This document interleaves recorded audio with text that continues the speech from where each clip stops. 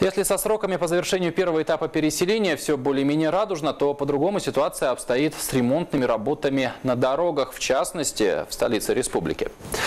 31 октября завершился строительный сезон. Соответственно, по графику должны были закончиться и ремонтные работы на дорогах. В этом году в Якутске дорожники построили и отремонтировали почти 8 километров полотна.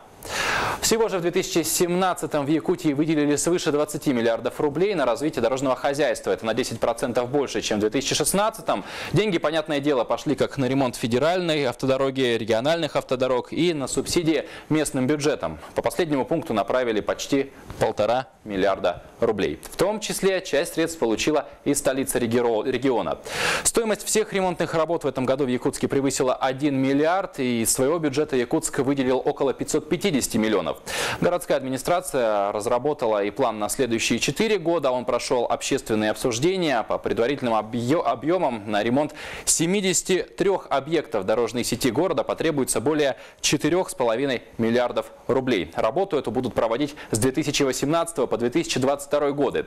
Ну а в этом году сезон завершился. Однако в Якутске дорожники все еще продолжают работать. При этом сроки сорвал всего лишь один из этих объектов. Какой, узнаем в следующем материале. В этом сезоне отремонтировали 13 дорог. Среди них улицы Чернышевского, Черяева, Уткина, Круговая на пересечении Кальвица, Жарницкого, Свердлова и Пирогова, а также подъездная дорога к медцентру. Сегодня из 13 дорог незавершенной остается только круговая развязка на пересечении улицы Жарницкого, Хатынуряхского и объездного шоссе. Сейчас она закрыта. Дорожники обещают закончить все работы и открыть дорогу в середине ноября. Объездное шоссе у нас остается закрытым из-за того, что мы кольцо асфальтировать закончили. Осталось а, перенести воздушные линии. Это две опоры попадают у нас на кольцо. И в целях безопасности мы пока держим его закрыто. Сейчас в данный момент проводятся работы по э, выносу кабельных линий подземных.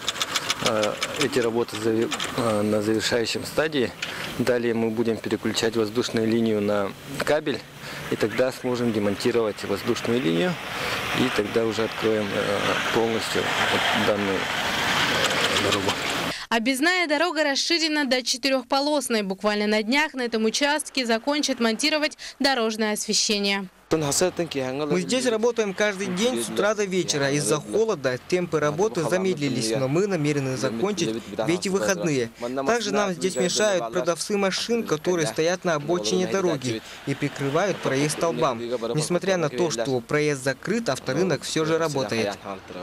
Что касается остальных дорог, то они все были сданы в срок. В целом, как говорят в управлении дорог, этот строительный сезон выдался плодотворным. Основные сложности возникли лишь осенью. Частые дожди мешали укладке асфальта. Однако все помехи были вовремя устранены. В следующем году в Якутске планируется ремонт около 15 дорог.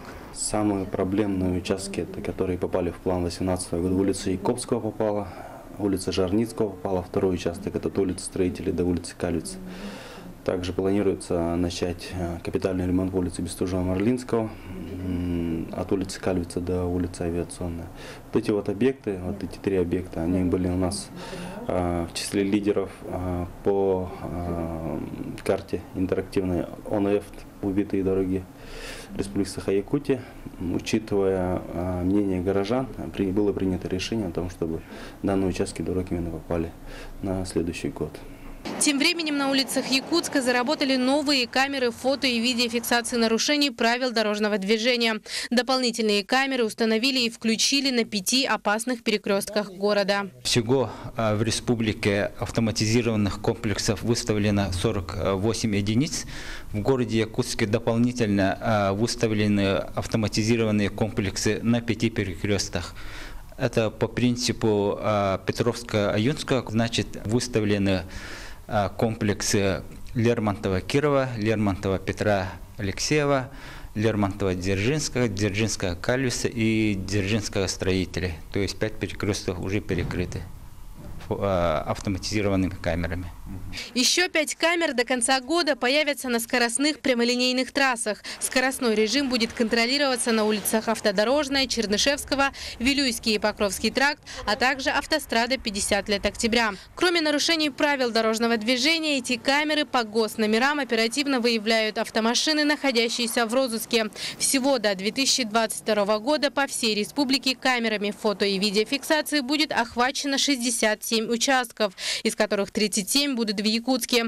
Также основное внимание будет уделено федеральным дорогам, где установят передвижные и стационарные комплексы. Марьяна Кутукова, Евгений Тайтонов, Владимир Таюрский, Якутия. День за днем.